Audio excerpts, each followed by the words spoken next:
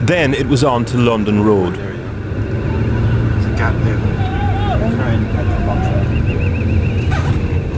At points, every shop on either side was being smashed up or looted. Cars had crashed into each other and were abandoned. Looters were taking their time, sauntering down the street as if in a supermarket aisle. Then, our turn to experience what many in this community already had. Go, go, go, go, go, go, go, go. Okay, you have to run down, run down. Go, keep going, keep going, keep going. We've just um, been attacked. Uh, a rock has come through the window and it's they're continuing to attack us. We're taking a right off the main drag now. Just to tell you there's been a shooting.